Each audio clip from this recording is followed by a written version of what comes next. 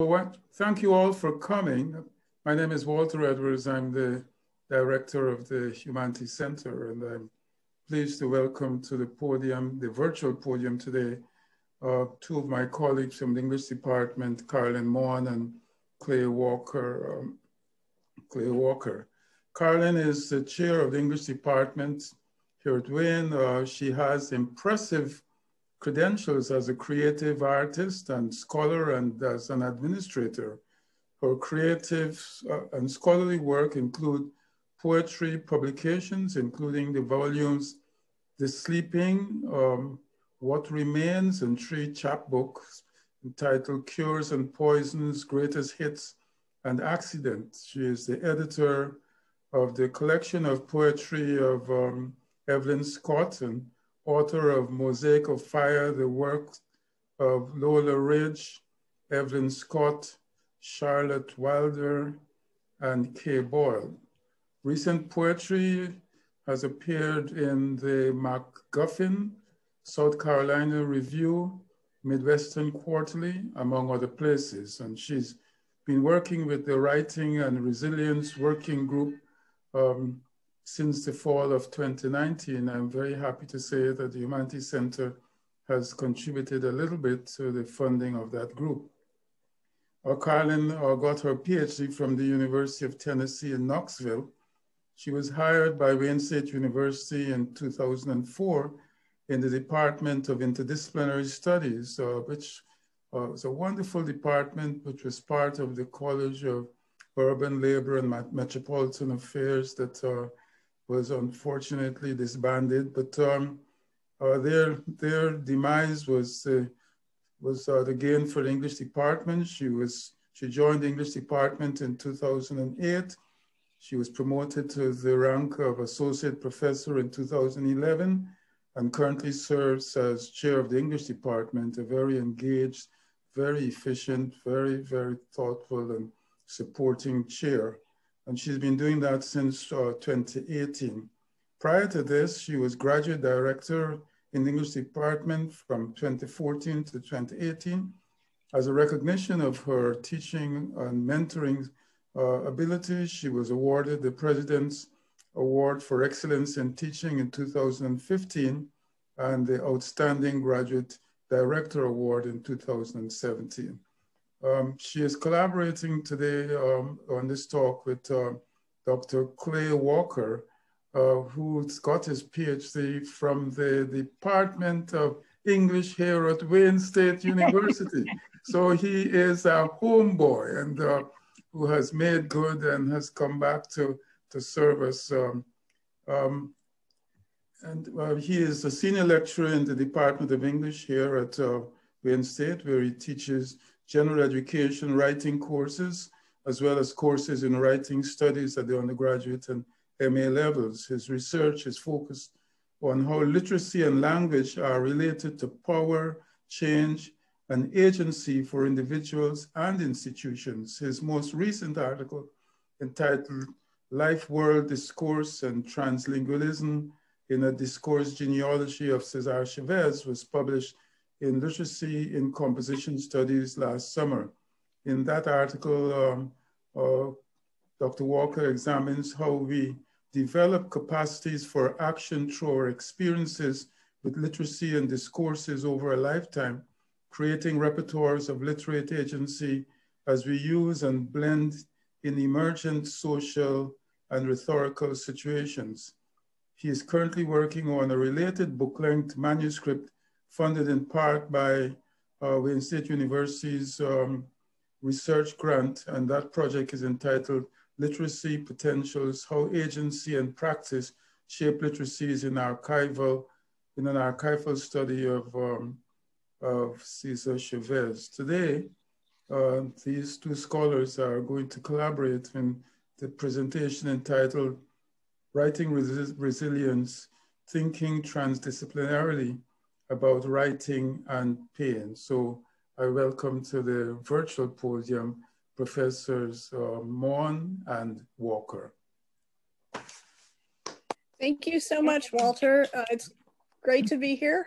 and I wanted to uh, thank Clay, who's a part of the Writing and Resilience Working Group, for joining me in this presentation. And I wanted to acknowledge a couple of other members of the Writing and Resilience Working Group who are in the um, in the audience. Uh, Professor Mark Lumley in psychology is in is in psychology is here, and Kelly Fordon is here. She is a, a wonderful writer. Uh, and uh, if I'm missing anybody, it's because um, I don't have the screen set up so I can see everyone. But I'm so happy to see uh, colleagues here from English and from other departments. Um, thank you for, for being here. I'm going to share my slides. I'm not going to uh, put them on the screen because I'm probably not going to be able to talk about everything that I have uh, planned. And I'm setting a timer for 20 minutes so that I can turn the, turn the talk over to Clay in a timely way. So I wanted to say a little bit about um, the word transdisciplinary in the title of the talk.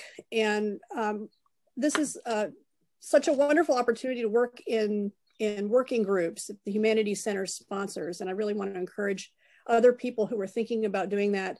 It's a great kind of entry point uh, for, for bringing together an interdisciplinary team of people to think about problems across disciplines.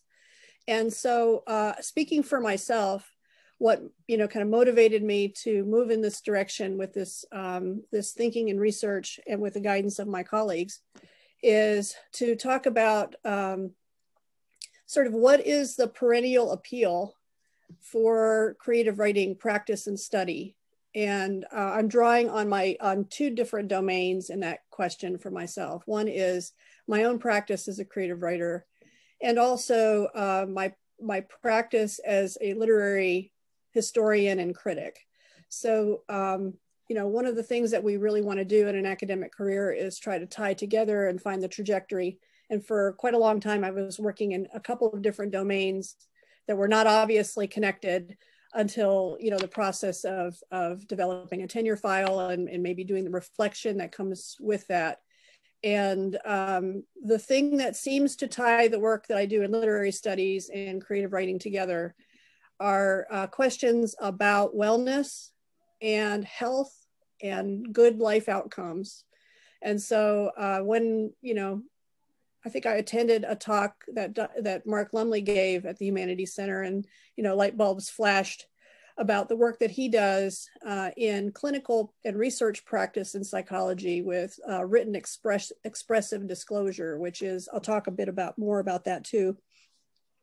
But essentially um, thinking about the way that one might use writing either consciously or not, not consciously to kind of improve one's experience kind of broadly. So just sort of a brief outline of what I want to go over um, I'm going to talk to you a little bit about the Writing and Resilience Working Group and a little bit about the backgrounds uh, for the people who are who are working in this area.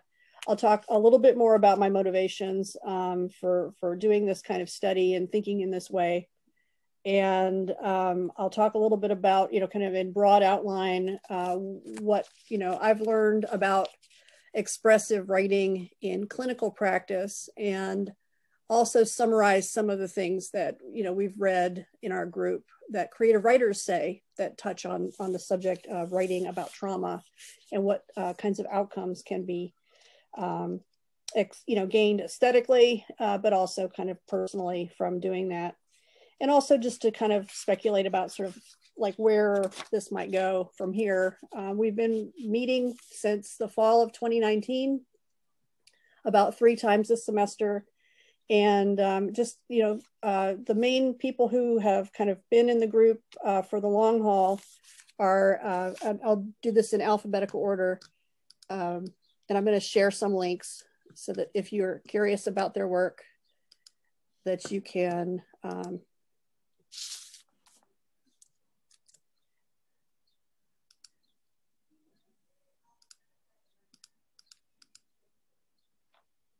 you can um, look at it on your own. I want to talk a little bit about Kelly, um, who is a poet and novelist. She is um, just, she's the author of uh, two works of fiction, Garden of the Blind and I Have the Answer. Uh, book of poems, Goodbye Toothless House, and a chapbook called The Witness.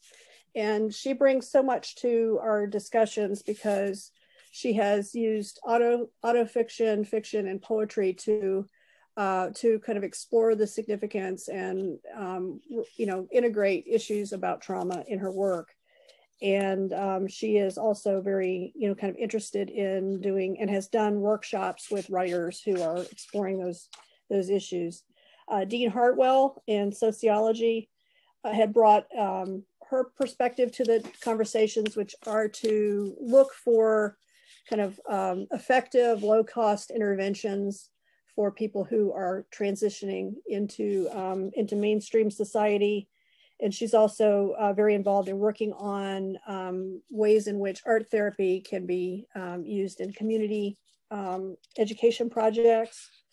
And so uh, very interested in neighborhood-based trauma and, um, and basically supporting people who are working through those issues.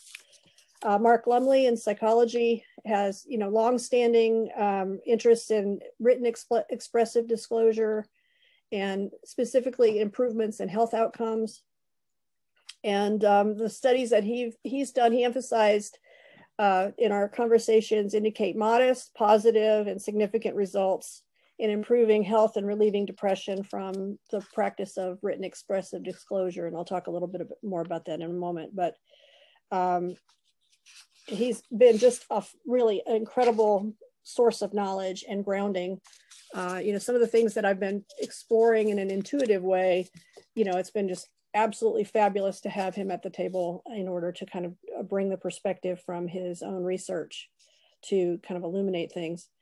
And then um, Clay Walker is, as uh, Walter introduced him, interested in um, cognitive linguistics, composition theory, literacy studies, and um, we'll be hearing you know more about what his reflections are you know how this conversation kind of touches on and maybe uh, expands or illuminates um, composition theory and expressivist theories of writing. So some of our goals have been well for me i can speak for myself. My goal has been to try to dip into and catch up on a literature in psychology that helps me to understand or you know kind of connect with what i see in my own creative writing classroom.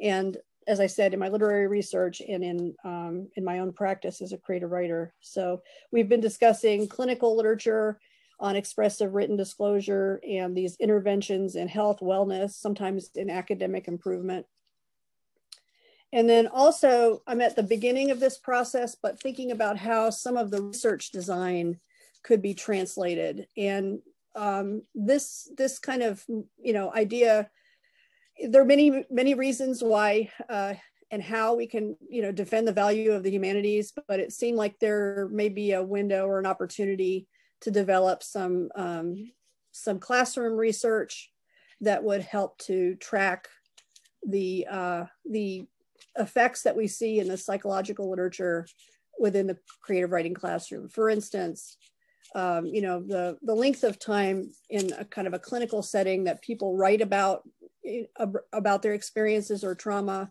has an effect uh, over a period of time. And students in creative writing classrooms are writing for, you know, 15 weeks. So it's a very uh, kind of a longer, a longer uh, exposure to kind of writing. I wanted to um, to also share with you that I had done a course a few years ago and um, the syllabus, it's a 7,000 level um, syllabus for a seminar in creative writing. And this was before, I think this was fall of 2017. So I had already kind of assembled some thinking and, and about how to, you know, maybe talk about creative writing as it affects our relationship to our bodies and I meant that very broadly. And so the the the specific kinds of it, you know, uh, discussions about trauma were both based on creative writing that we read, of people discussing their, you know, tr trauma or developing it in one way or another, sometimes in surreal ways and sometimes in more straightforward ways, but also sort of cultural traumas. And so um, if you if you care to look at the syllabus, you'll see the reading list, and we kind of um, you know kind of very broadly discussed how one can maybe integrate one's experience of trauma or rethink the relationship to the body through creative writing. So that was um, a wonderful group of students. And I think one of the, um, we read uh, the critical theory that we read was a book called Visceral Poetics, and it's on the, the reading list in the in the syllabus, and it really helped to kind of uh, illuminate, you know, sort of like you know. Um, Dickinson said that she knew it was a poem because it tore the top of her head off. You know, the ways in which we feel uh, deeply what we're reading and feel in a bodily way what um, what we see happening in literature. And so it's it was a really a really good thing to do, but it kind of primed the prompt pump for me with regard to uh, how to how to think about um, integrating these different interests of mine. So so basically also some of the other goals of the group I think that are in progress and to be to be determined but are part of this is um, developing research design and I will be you know I'm not teaching a lot right now as chair but uh, I'm getting back into the classroom this summer. I'm teaching a, a teaching of creative writing course this summer. Um, and, you know, I'm probably going to be adding at least one class a year, uh, perhaps one a semester um, going forward. And so I can see going back into like a 20, uh, 2800 or 3800, those are intro creative writing classes and you know thinking through doing um, institutional research board proposal where you know I might um, provide at key points a mood a mood survey or uh, do you know kind of a grade um, like at what point in a student's trajectory? Do they take an intro to creative writing class? What are their grades like before? What are their grades like afterwards? There's a lot of different things that that are possible but that i haven't decided on. Um, and the the point here is that are there some evidence-based you know social science informed research methods that could be brought to bear to humanities disciplines to kind of you know maybe spark different kinds of conversations about their value or supplement the the mainstream uh, um, discussions about their value and um, interested in, you know, kind of developing um, a team taught topics course on these themes in which I would invite, you know, uh, specialists like uh, Dean Hartwell and Mark Lumley in to the creative writing classroom to talk about uh, things that we've been reading that, that touch on their fields.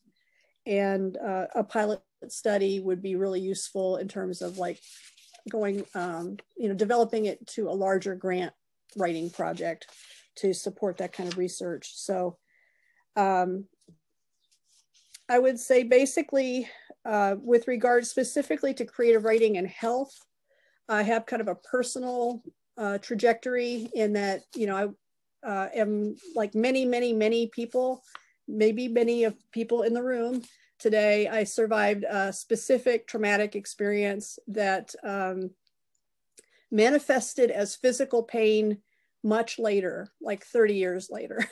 there was, you know, kind of pain that was not tied to tissue damage in my body. And so um, there's a lot of stigma around that sort of uh, development and uh, but I've been really supported and you know basically um, enabled by discourse around mind body pain which is a kind of a it's you know comes out of psychology but it's it's kind of a bit broader in some ways than that. And the intervention that i had was with and you know this is not necessarily an endorsement but some people you know might wonder. I used a, an app on my phone called curable which is um, was developed with the expertise in part of a psychologist in the Detroit metropolitan area named uh, Howard Schubiner, who's a colleague of uh, Professor Lumley and a co-author with him on, on some things. And uh, it combines education about um, the brain and its role in interpreting and, you know, kind of uh, manifesting pain. It also kind of makes a, an explicit link between past trauma and present pain, physical pain, other kinds of pain. And it does so in a way that destigmatizes it, makes it understandable, and chunks it into different kinds of activities. So you can, you know, meditate or you can write about your issues or whatever. It, it's kind of a broad spectrum um, intervention, and I found it extraordinarily effective. So part of it is also untangling the personal mystery of this. I've, you know, have always uh, used, you know, approached creative writing as a witness uh, from a witness angle and have, um, you know, connected it to personal experience, although it's not strictly autobiographical. Uh, and also poetry for me has been a mode that's been very effective in allowing me to approach difficult material from an oblique angle.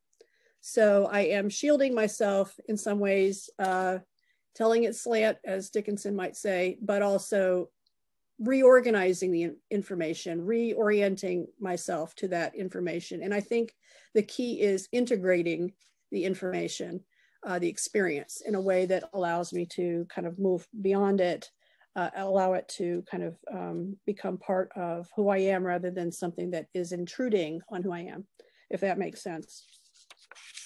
So um, I would say basically in kind of the way that you see this approached in clinical practice, very kind of in a broad stroke sort of description is uh, the, the person that we've, you know, kind of run into again and again on this topic is a professor named uh, James Pennebaker, who is at UT Austin. And um, starting in like the late 90s, uh, he began to publish articles about uh, what he had found the value of writing or talking about uh, personal experience, specifically trauma, has in a number of different ways as an intervention. So he really uh, focused on having people uh, explore specific experiences. I'm going to give you an example of one of um, Pennebaker's assignments uh, in his, his studies. And I'm just copying and pasting it into the chat.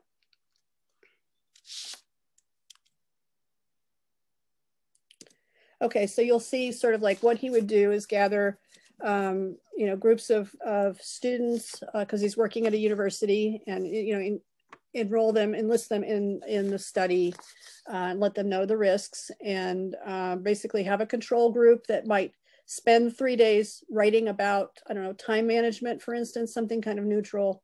And then also have people working on um, targeting things that are maybe more volatile. Um, and the description here is that he'd like uh, the subjects to write about their very deepest thoughts and feelings about an extremely important emotional issue that has affected you in your life and do and you know do this for over several days for approximately 15 to 20 minutes each day and the way that he you know there were a number of different ways that he and his team tried to get at the value of this. One was to, um, you know, have students agree to disclose the number of clinical visits that they had at the university. And so to see sort of like before and after uh, how often they, they went to the clinic over a period of time. Um, another is, you know, to do blood tests and, and determine immune system function and improvements in Im immune system function. And there, there are other ways too, but uh, there are uh, differences, you know, in the ways that uh, people who undergo this kind of activity, you know, feel and kind of objectively are, and the control groups in which there's, you know, um, no kind of no difference. So uh, basically, the the findings are, and I'm uh, going to read a little bit here, but um, initial discomfort. So people who undergo this kind of an assignment initially feel sad or perhaps upset or angry, um, but uh, right afterwards. But they have drops, according to the research, in physicians and clinic visits, uh, effects lasting up to a year, uh, better immune system function as measured by blood tests, longer term improvements in mood, uh, if their students, improvements in their grades. Uh, benefits can come either by writing or talking. Talking could be into a tape recorder. may uh, be effect, more effective to write over several days, even five to 10 minutes one time can have good effects. And in my, um, the slides that I shared with you, I have the citation for that article. He, theor Pennebaker theorized about why this works. And some of them are, you know, kind of an initial theory he had was that basically if, if we're not disclosing the things that are kind of toxic, um, is that it creates an inhibition, and this is kind of a long term low stressor on a person. It kind of takes a toll over a long period of time, but that's not proven. Um, he had better evidence that translating the experiences that one has into language can help us to resituate ourselves and um, the experience. And basically, we, the writers who seem to gain uh, insight into the causes or were able to kind of think about the why of their situation uh, did better. But the best outcomes are were found from people who moved from poorly organized writing into more organized writing over a period of days. So, um, and it didn't, you know, uh, I'm citing basically uh, Allison Radcliffe and Mark Lumley and, and their team. But um, when people shared the disclosure, you know, basically they knew that there would be an audience of some kind. Maybe they would be turning the, the writing back into clinicians, that there was uh, better outcomes with reducing depression and uh, shared disclosure reduces physical symptoms of pain better. So I am um, going to say just a few things about uh, about where I see connections with creative writing as a practice basically different writers approach this differently. I had um, the experience of, you know, really, really loving the fiction of Stephen King when I was, you know, a teenager. Could you try again? That's my phone talking to us. Sorry about that. Um, but I never really connected why until I read his book on writing, in which he revealed that the mon- you know kind of the monsters in his work, a lot of that emotional truth has to do with alcoholism. And then, you know, it kind of slipped into place for me. It all clicked.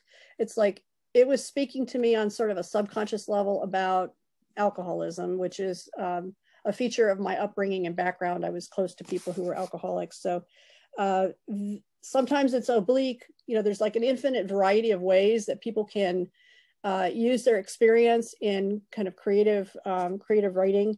But basically, um, the I'm just going to mention two two people who are doing really interesting work right now from the creative writing side on on trauma, and one is Roxane Gay, and her book Hunger uh, is very straightforward about kind of her past trauma, and then she endured a terrible like public reception in which um, you know there were very insensitive like engagements with journalists uh, because she's also very open about her her struggle with weight.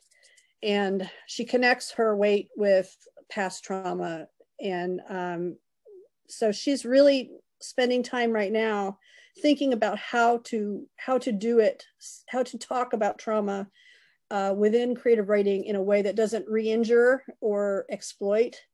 Uh, and she has a new essay that came out um, like uh, you know last month that's extremely illuminating you know about how how to balance trauma like what what space should it take in a narrative?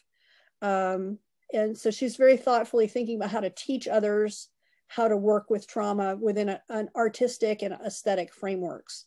And the reason why maybe aesthetic frameworks would be interesting to explore um, are that it does give a sense of mastery over the material. It, it allows people to work with things over time and conceive of an audience in a very kind of specific but also general way. You're thinking about how do you treat this material so that it is in you know it's illuminating to other people who will not know you. And um, so that there may be kind of extra you know there might be some extra things to think about from a research standpoint in terms of how people process trauma when they're writing about it creatively so some of her advice, I'll just very briefly say that she gave to her students at Yale. She recently taught a course on writing trauma.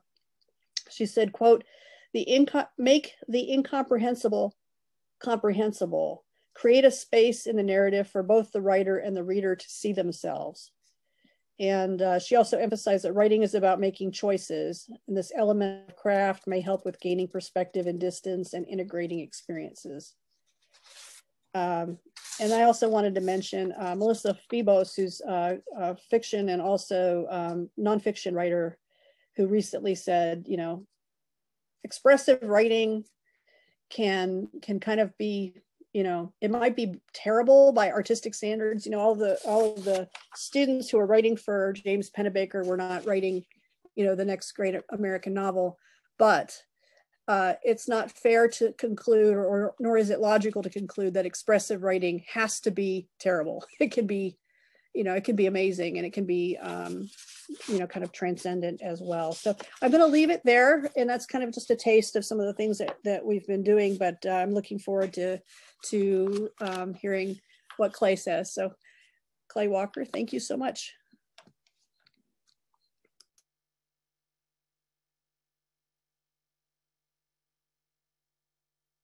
you have to unmute your mic Thanks. I just put a copy of my slides there in the chat and I'm just gonna share my screen and then I'll start.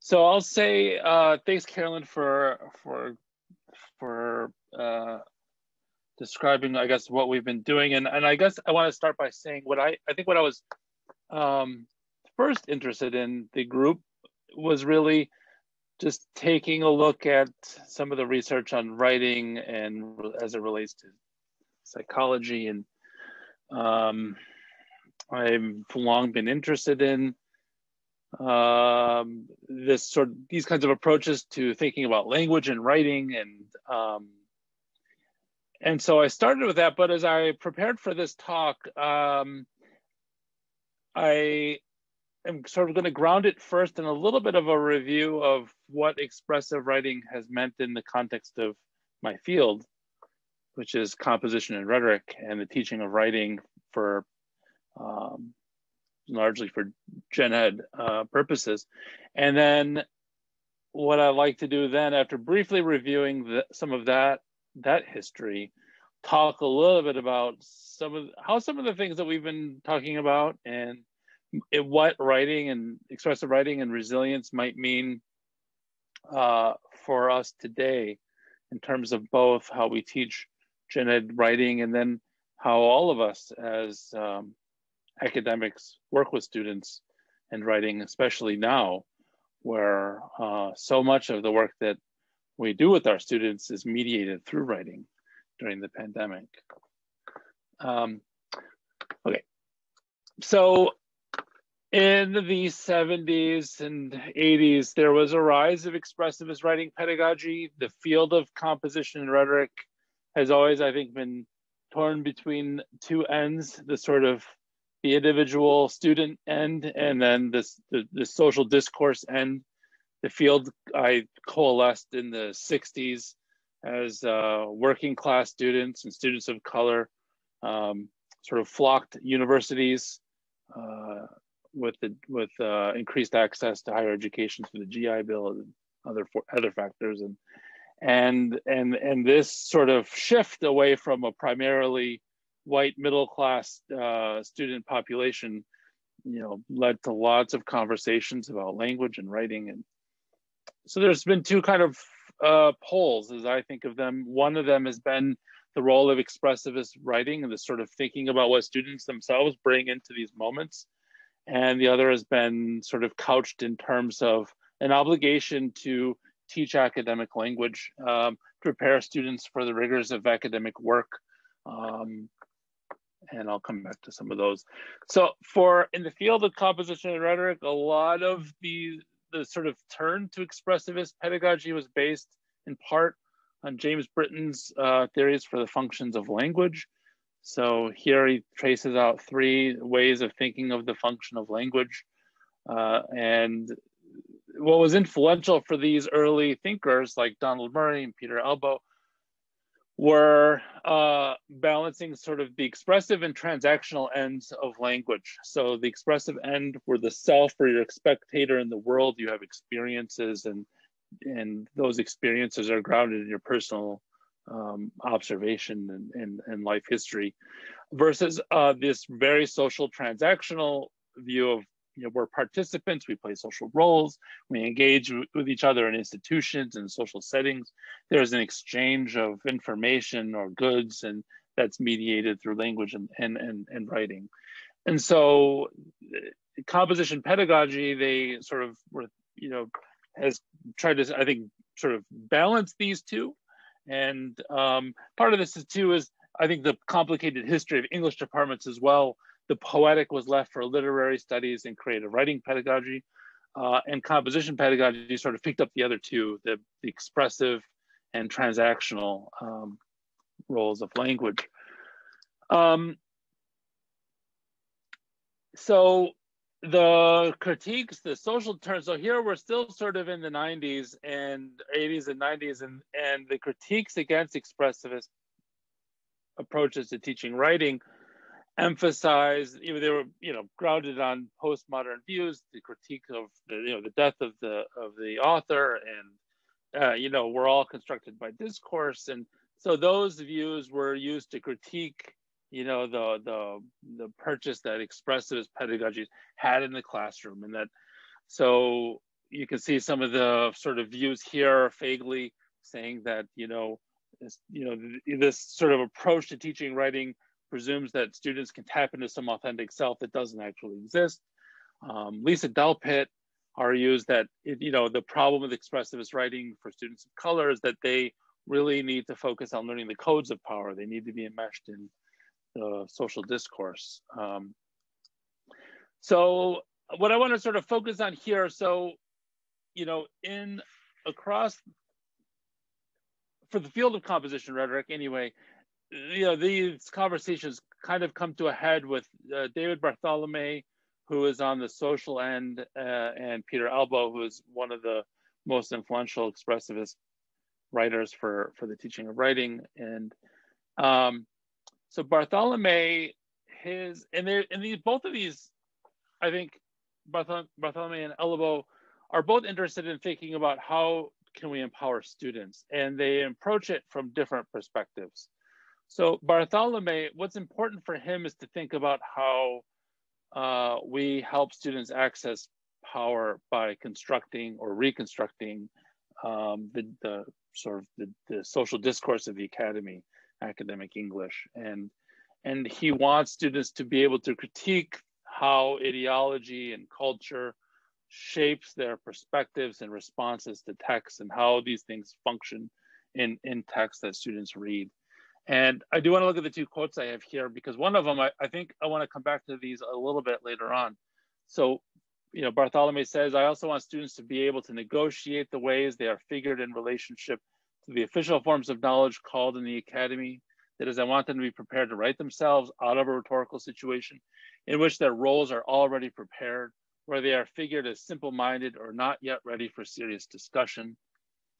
The writing teacher is the person who not only prompts students to write, but who prompts students to revise, to work on their writing in ways that they would not, if left to, uh, not their own, but the culture's devices. So the, the the role here of the writing teacher for Bartholomae is to help students critique uh, language and and understand their positionality and how it's constructed through discourse and through pre-existing social relationships. Elbow argues for a view of subjectivity that's maybe a bit socially constructed, but really emphasizes that self-expression. And so, you know, free writing for is um, really the you know uh, a mode of writing that Caroline kind of talked about when she was talking about the Pennebaker's work and uh, where you spend some time just sort of like using writing to sort of explore or articulate an idea without thinking about audience, without thinking about a readership, just sort of finding language to sort of wrap around that element of experience or feeling or whatever. And um, now for Elbow, free writing is about, you know, I think very much in the same vein about being able to um, find that articulation. He said, I put a lot of faith in long range benefits of helping students achieve their, their goals. Helping them gradually relinquish their conditioned assumption that their job is to accomplish our goals, which is to say, the teachers of writing in, in, in uh, gen ed courses. So this debate happens in the mid 90s, but you know, I don't think uh, it, both sort of views ultimately today, if you think if you look at composition pedagogy, they're both there uh, in in in a way, but you know things like free writing and journaling still happen in in writing classrooms, but I would say the social turn won out in the in the debate here because by and large, when we think about first year writing courses, they're charged with teaching students academic discourse as the main uh, job here, helping students do something that they wouldn't necessarily be able to do on their own. And I, I think that's the predominant mode in composition pedagogy. Um, expressivist pedagogy is still part of it, but it's sort of, I sort of subordinated in the, the goal of teaching academic discourse.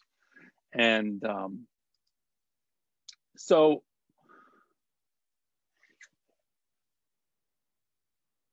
you know, there's been, you know, just recently, 10 years ago, Bronwyn Williams was is here trying to recuperate expressivism and composition pedagogy, thinking about how people like Donald Murray and Peter Elbow, they they're emphasizing students' experience in the in the world and placing an emphasis on humanism.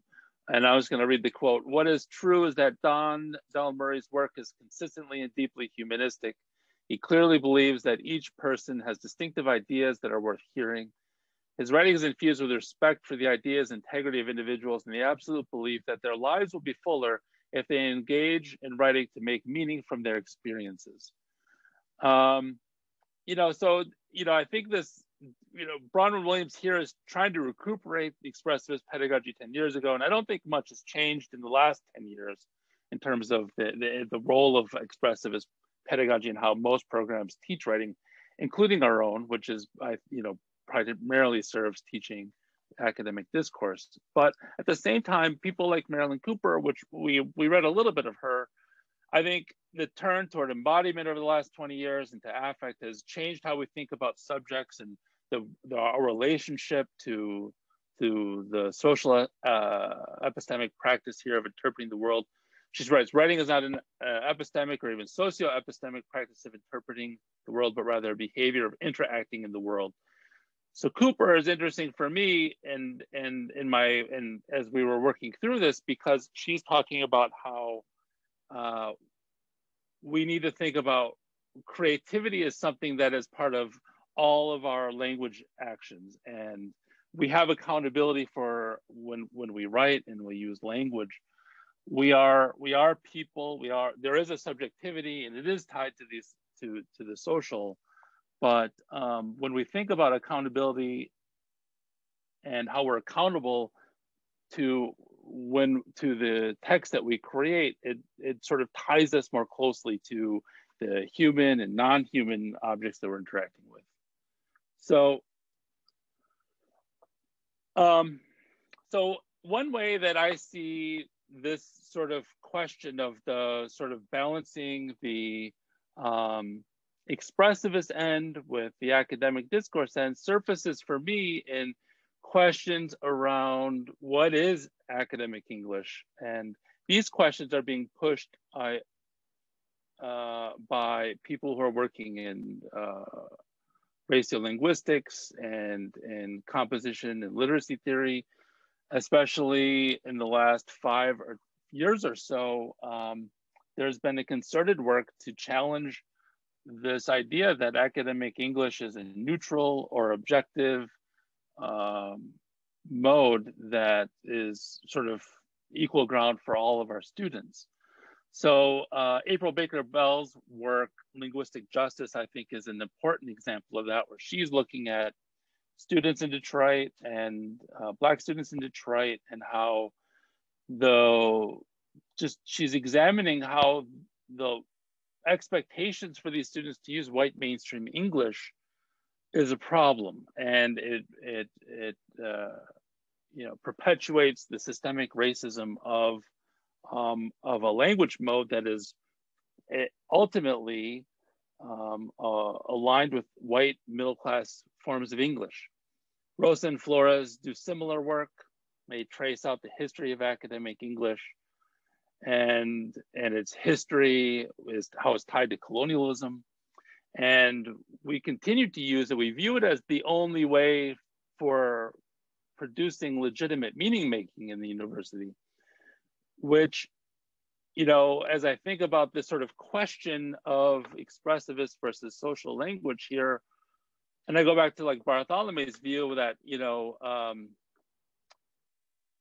thinking about how students are figured as simple-minded or not yet ready for serious discussion, that they need to be sort of redirected or cured or learn this thing in order to fully participate in our classrooms. He's talking here about the need to to to reproduce knowledge and meaning through uh, a specific form of of of of, of standard English or academic English, and and so as I think about what resilience might mean and expressivism might mean, people like um, Vershawn Young, should writers use their own English?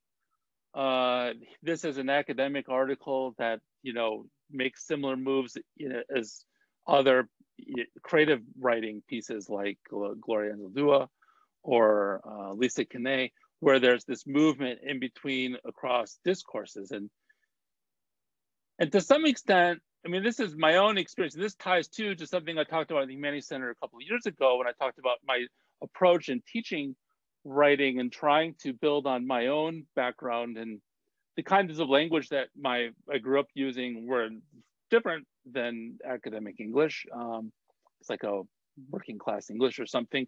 It's very different. I spent you know 15 years cooking before I came to graduate school and had a long history there where you know you just talk different. It's just different and um, it's not as formal or you know I don't know. But I guess the point I want to make here is that as I think about expressivism and resilience, one way that this this sort of these conversations move forward for me are thinking about you know what are the effects or what does it mean to teach, teach academic discourse now and and how do we create space for that self-expressivism in our courses uh, for students especially for students who who don't come primed for academic discourse and and think or create meaning in other ways using other kinds of language so, so that's that's something that I'm interested in further exploring. But I'm going to end, I guess, just by talking about a few pragmatic ways that a lot of us can use in our courses to continue to build on expressive writing. And so one is, so some of these are widely used in composition today, um, and some of them are, are, I think, gaining in prominence. So one, process reflection. So using, you know, letting students write without supervision or write without being assessed or evaluated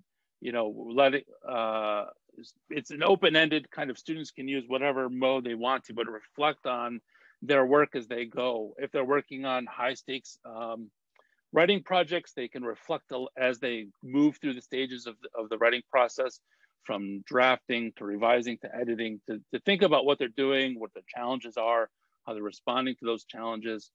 Other ways to use expressive writing, free writing and journaling. These are, you know, free writing is something I think that we've already talked a bit earlier, but uh, this is a way that students can invent ideas, discover, develop ideas without critique, without thinking about the reader. And, and that's an important element here, letting students tap into what they know and what they know better than you, uh, which, which is, I think, sometimes difficult to, to acknowledge. Um, using more open-ended questions that for like essay prompts allow students more space to think about what's important to them. Um, uh, emphasizing labor over discourse forms. I think this is an important one, and this is tied to other research that critiques um, that is trying to create non-racist language practices in the university. Inoue is uh, writes a lot about non-racist, uh, anti-racist approaches to assessment. So when you emphasize labor over discourse forms, you're asking students to show that they're doing work without, you know, judging them for the language choices that they make. Um, reinforce without reinforcing, um, you know, standard English models, uh, but letting them explore ideas and the modes that are the most important or useful or natural to them. Um, and the pandemic online classroom, I think one thing that we need to think about, whether or not we're ending the pandemic or not, it sounds today like we might be going more to a face-to-face world in the fall, but still, um, I think as we move to the online, there tends, I think this is true when anyone moves to online teaching, that they feel an impetus to sort of assess everything students are writing or touch on everything students are writing, but students need space, I think, to use writing in more informal ways to sort of play with ideas, develop ideas. And, and this aligns too for me with, with sort of what we know about expressive writing and being able to articulate what's important for them helps them move forward. And, and, and there needs to be space where they can do that without sort of feeling pressure, whether it's grades or critique or whatever. But um, anyway, thank you very much and um, look forward to any conversation. Yes, thank you. So that concludes the presentation portion of this brown bag. Now we're moving to Q&A. If anyone has any questions, feel free to raise your hand physically or uh, use um, the reaction raise your hand, or you can also put questions in the chat. So, all right. Ali? I thank you for that really wonderful talk. It gave me a lot of ideas. And um, some of this, my question might have been answered by you, Clay, at the very last slide, but I wondered, um, Caroline, you were talking about Pennebaker's assignment, and I wondered how you address students' issues that come up. Um, do you respond back in writing? Do you discuss uh, emotional issues in class? How do you work with that? Because I have the same thing happen in my classrooms uh, in art therapy. Yeah, I think uh, that's a great question, Holly. Thank you. Um, I haven't given Pennebaker's assignment in class, but I can talk about, you know, kind of those moments when those things do come up because when I'm teaching a workshop, you know, often um, and I've I've done some things to try to like mitigate this, but someone will bring in something that's kind of un uh, unprocessed and deals with trauma. And uh, in general, um, you know, what I would say, or what I have said, and and and others may have done dealt with this maybe better than I have, but is to say basically, can you know, we focus on on audience and effect. And how does you know what is the intention of the author with regard to their audience? Uh, because in creative writing we're writing for readers. I mean not not only for readers but eventually you know the, the idea of the reader is there and to try to be more intentional about what it is that we want that reader to feel what the trajectory of emotion is for the reader um, and i really liked you know what i shared briefly from roxane gay's uh, kind of essay on teaching creative writing about trauma, which was how do you make space for the reader to see themselves? So there's, you know, kind of a, a way, you know, that you kind of work with the information so that it's not, you know, it's not only kind of expressivist writing. It's, it's going to be something that is um, molded or crafted. So, uh, and I have had experiences where, you know, there's a, kind of an emotional response. And I'm kind of thinking about um, my own kind of kind of clumsy when I was an undergraduate uh, person in creative writing and not, you know, not having filters or whatever, and just basically saying, um, saying that this is just part of the way of, this is part of how you learn how to write, is that you find a balance uh, through trial and error and try to create spaces in the classroom where there is grace and um, headroom for people to to experience you know and find that balance for themselves. So that's how i would how i'd respond to that. Thank you uh, there's a question in the chat um, uh, john michael gruda says where is the border line between therapy and the educational process? While writing can be therapeutic you don't necessarily want to do therapy do you? Or is it a side effect?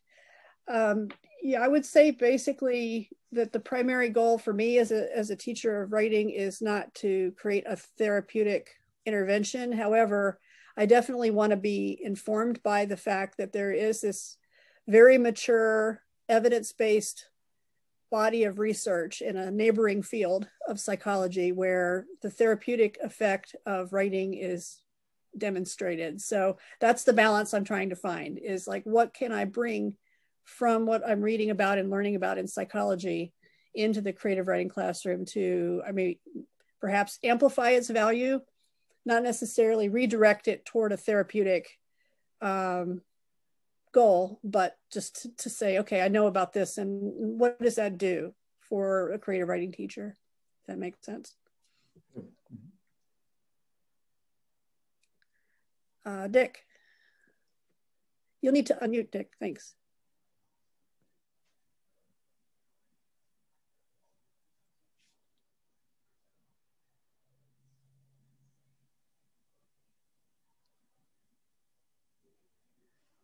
Dick, I think you're muted. Okay. There you go.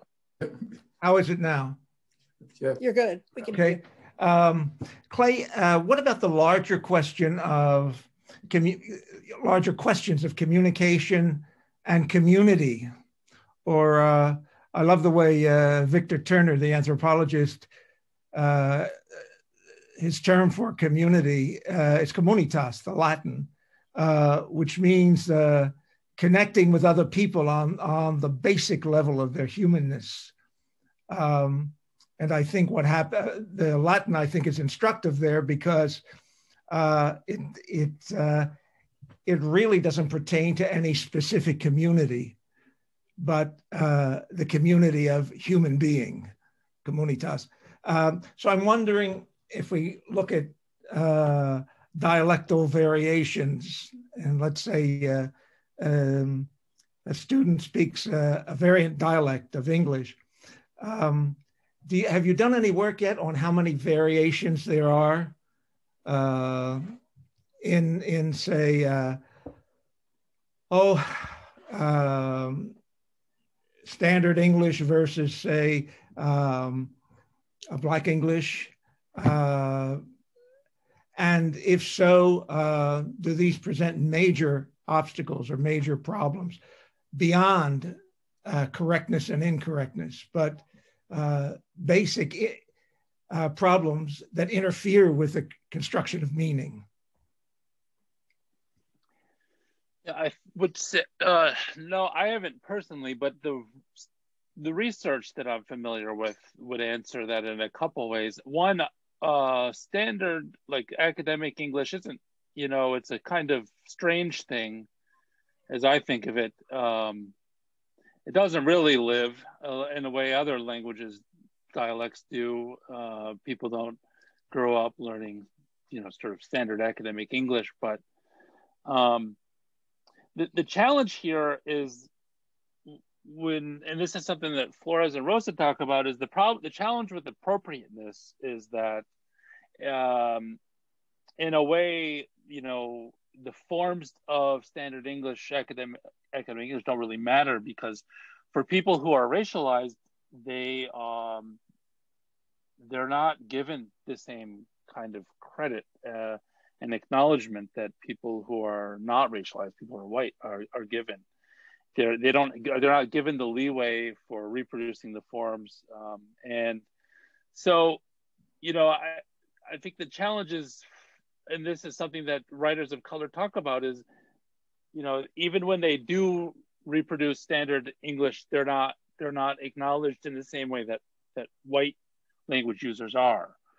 And we can think just take public figures, you know, um, it, it's you know it's kind of embedded in Jonathan Rosa's book title, uh, looking like a language, uh, sounding like a race, and some of these connections are inescapable uh, for students in the classroom. And so I think when, you know, I think that's the challenge that we face is creating a real community um, is would entail like, acknowledging that people can construct meaning without using standard English, and that meaning can be valuable, um, you know, verifiable, uh, rigorous, specific, you know these kinds of things but we don't give that space many many of our colleagues do not give that space for students, and they and they require this re, this reiteration of of academic English. And you know, for those who can who can sort of sort it out and and and figure out how to play that game,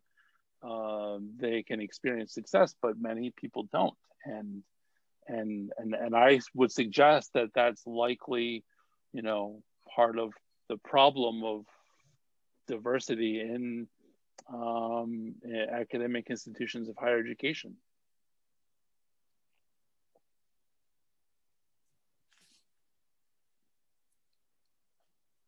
Renata?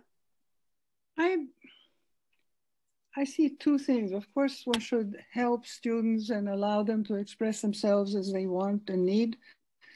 On the other hand, if you're writing, you also want to be understood. And there's a certain amount of maybe politeness towards your lead, your readers or your listeners that will make you uh, express yourself in such a way that they can follow you. And you know, everybody talks about Black English when they talk, about, but if somebody starts writing into in Scottish dialect, they in, in your class, they might have trouble getting understood, and they're pretty white, or Irish. I mean, there are a whole bunch of of English dialects, including you could also uh, mention Southern American, which is spoken both by blacks and whites. And so, you know, there is a certain amount of accommodation, I think, that also is necessary if you're talking to an audience. And what are you preparing your students for? Are you preparing them to just express themselves? Fine. Are you preparing them to be academics? Then they have to learn a way in which they will be recognized as academics. And if they do it really well, then they can play with academic English and, and make it uh, closer to some other thing, some other form of English. But it isn't automatic and it doesn't necessarily have, I mean, I, have taught some freshman composition and it doesn't necessarily turn up in the first or second papers that they write they need to say, look, you know, this is the way you cross the street, uh, not against the red light, because then you may be run over, or something like that. So, what what do you see as a necessary um, learning that will allow a student to be perceived and understood to the point where then they can change the way in which the original way in which they would have expressed themselves is perceived and understood. Anyway, I don't know whether I have expressed myself yeah. Properly academically. I it's a, I agree with. I mean, I you know I understand what you're what you're saying, and and I think as I sort of think to sort of filter back through some of the concepts of the talk of expressivism and one thing i think about is you know there i agree with readers and audiences are important and but students need to make decisions on what kind of how they're presenting themselves in those moments what kind of what version of themselves do they want to present and that requires some space and and I don't think that you need to use academic English to sort of develop content knowledge uh, about things. Um, and, and that's a way that, you know, faculty might rethink how writing is used in classrooms across disciplines. Uh, but another thing that is, we could ask students to maybe write less to us as their instructors who are, as a profession, academics, but maybe to think about how they might write about things that are important to them to other audiences who are not primarily white uh, and and how they might present themselves in that way.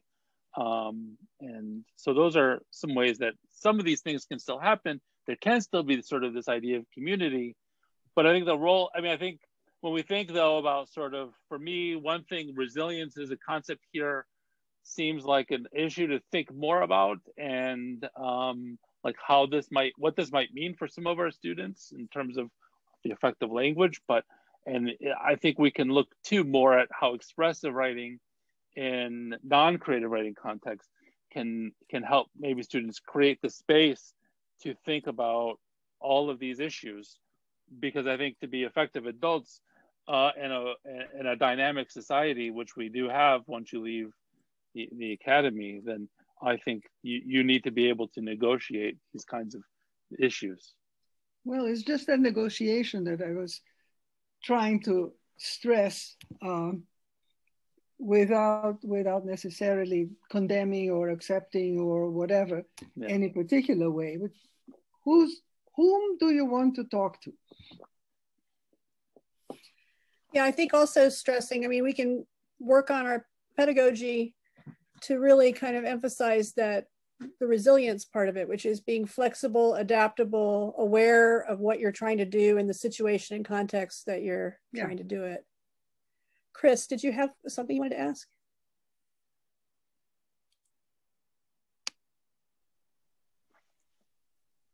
Uh, I just wanted to ask uh, Clay if uh, you can uh, talk about more about synthesizing your two approaches between expressivist and discursive and social and establishing the ability to critique uh, a student's positionality. I think that that's a fantastic high, high bar.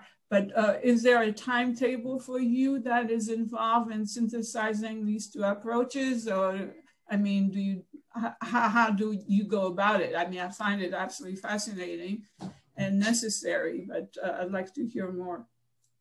Well, I would say it's been a challenge over the last year online um, to do this, but um, in my face-to-face teaching, I try to move myself away from using just academic discourse in in sort of you know verbal interactions as a way of creating space for people to communicate um, in alternative ways. Um, I don't know that I have an answer yet for um, how to deal with the power of um, academic discourse in the university, and I think that's something I'm still working to figure out. And I think it's a question that you know needs further work but I um, a lot of the things I listed, I think I tried to do and use free writing to allow students to sort of figure out what they want to do. And and and I think as I move forward, though, how I assign essays will change. I I, I um I don't think I'm creating enough space for students to pursue what they're interested in um, on their own terms, and I think maybe too much of it's predetermined by me and sometimes that's you know it's a balancing act though because sometimes for like when i'm teaching english 1010 basic writing where i want students to summarize if i haven't read the text it's hard to you know sort of help students summarize. But you know there needs to be a letting go on some things and and letting students sort of work with language and writing and letting them fail and um but i think the most important i don't know if this is really helpful at all chris but uh, Inoue's work has probably been the most important for me, and I've used that a lot in the last year, where I I don't really grade for language forms.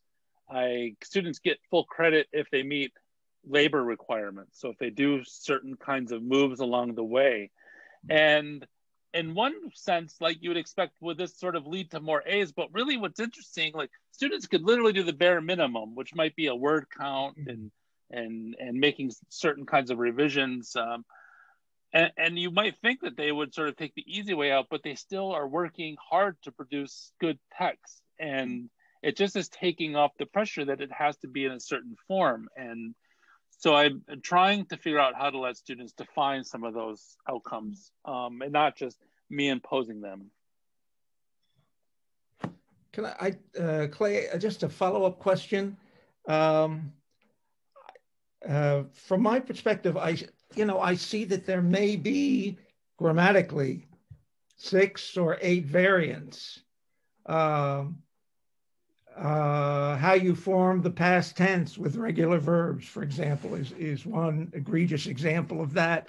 Um, and um, I don't see that as uh, an onerous task to say, um, if you want to communicate with a wide audience, then you need to learn standard English.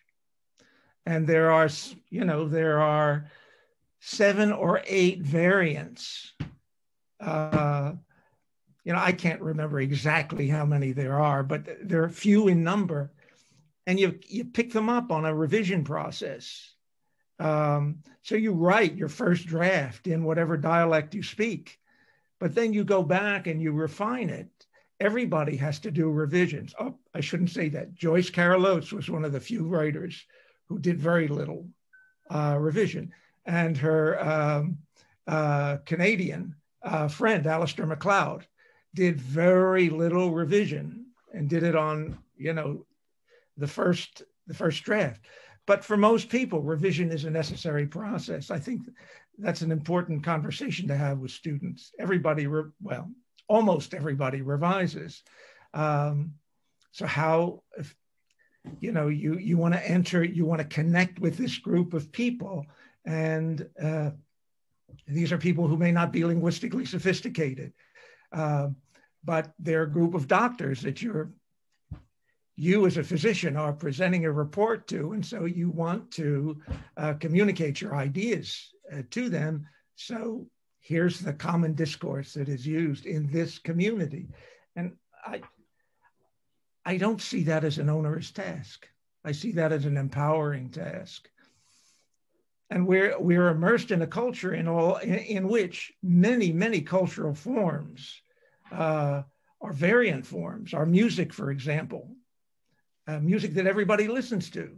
Uh, the lyrics are inscribed in often non-standard English forms, but it doesn't stop people from dancing to that music.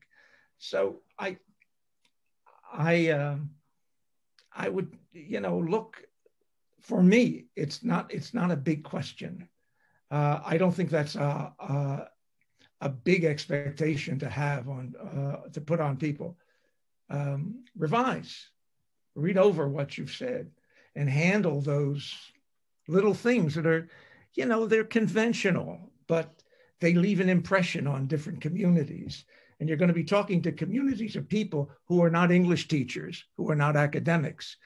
In when you, by and large, when you move out of uh, the academy and into the workplace. Well, Dick, yeah, I sorry. Dick, Go ahead. No, I'm done. I, I, I want to agree with you, and but I usually, as the director of the center, I don't try to get involved in the conversations so to let other other people talk. But uh, there, there are ideas that have been canvassed here in this talk that uh, compel me to, to, to speak. I, I want to remind people that there is a vast, vast literature on what, what is called um, applied linguistics, contrastive language teaching, that I, I, see not mentioned at all in here. I mean, I, I really feel that any, any person practicing pedagogy in a community like Wayne State University, where there are there are thousands of students who come to come to our classrooms who speak what is called in the literature African American vernacular English. The term Black English has gone out uh, of fashion a long time ago. There are clear linguistic patterns that are inherent in the speech of African Americans and um, and um, other other minority groups that are captured in the literature. I believe that every composition teacher in this um, in this area, uh, teaching in the Detroit metropolitan um, area, should know about African American English. There are books written by John Rickford, by, by Lisa Green, by uh, Delpit. There are thousands of these books that uh, they should know so that they can understand um, when, when African American kids come to school and bring the rich, the rich language that they, that they learned in, in, in the streets. And they're not, and they are able to, to, do, to, to do very well in terms of learning academic English. Uh, John Rickford's uh, program in California has shown the remarkable progress that African American kids can, can make in, in learning academic writing and, uh, and so on. Uh, if teachers are able not just to talk generally about uh, being positively oriented to the vernaculars of various uh, uh, their students, but they themselves know. They, they, they have picked up a book on African American vernacular English or monitor. I teach a course called African American English, its history and its structure um, that people can audit if they wish and they can understand these linguistic properties. I mean, people talk a lot, well, yeah, you should be more sympathetic towards um, the vernaculars and so on, but they themselves don't invest the time uh, to understand it and, and, and really believe in it. I mean, uh, we have a course here, African American Vernacular English, that is not allowed to be a mandatory course in our linguistics program. You would think that, that you, that you should make that course as part of your linguistics program a mandatory course so that people can respect it and understand it and so on. I'm, I'm sorry, Caroline, but uh, I had to get in there. Um, I can follow up with this if I may. There, there's more I can say that um, that I'm very passionate about in these in these matters. May I follow up in that my last semester, two years ago, teaching and my courses were cross-listed with the Center for Peace and Conflict Studies so I could speak to cultural change. So I encourage, I think that also can be that classes can be cross-listed with the Humanities Center. So when I came 37 years ago, there was predominantly a white dominant university in a, in a Black identified city. And when I left, it remained the same. And my students told me that my classroom was one of the last bastions of a humanitarian overview and an active listening. And I was acknowledged as one of the professors who, who addressed and introduced students to, to Black contemporary artists, which augmented the Euro, Eurocentric curriculum 37 years later, even though there were courses in, that were supposed to address Black culture, African history, and the arts. But still, dominantly, we have not addressed exactly what Walter's speaking to. And in terms of Richard's point, when he's talking about the um, the kind of um, you know revisioning, I think I think um, when you talked about music, music in different forms, but you still compels us to dance rap, I mean, most of the unique, okay, overall nationally, all of the uniquely um, American identified music forms have been founded by Black culture. All of them, including rap, through, you know, jazz, blues, etc. And so rap has informed our language. And, and, and that um, it's very interesting because our French, our French, one of, um, someone proposed all the French names that we have destroyed in our English interpretation that's in Detroit. So my thought was to have all the sense of the, the, the, the, the um, my um, friends from Nigeria who would speak it in a proper English, friends from uh, students from um, the Detroit schools who would announce, who are Black, who would pronounce those names in a different linguistic African-American way than, than what a Frenchman would announce those names. And so that kind of diversity is not acknowledged. And I just wanted to second what Walter was saying because I was feeling the same. I, I left the university heartbroken. heartbroken. Thank, thank you, Marilyn. I, I realized that I, I really um, made the talk go much longer than people want to, and I should have allowed it to to, to end naturally. But I, well, this is the second time you've stopped me, that, but I won't take it personally. That that, that I think um, Kennedy has a small uh, little speech that she gives at the end of talks. Kennedy, are you still here? Yes, I'm still here, Dr. Edwards. Um, to both of our wonderful speakers. Just want to thank you on behalf of the Humanities Center. Um, we're so grateful to give you two and your working group the platform to share this research. Um, and as a small token of our gratitude, the Humanity Center has two gifts for both of you a mask and a journal with our logo on it that will be reaching out to you towards the end of the semester to safely get these gifts to you um, because of COVID. But again, thank you so much. And this has been recorded and it will most likely go up uh, no later than this Friday if anyone wants to go back to our website and check out or um, expand on the discussion. So thank you again. And if our speakers have anything to say before we go.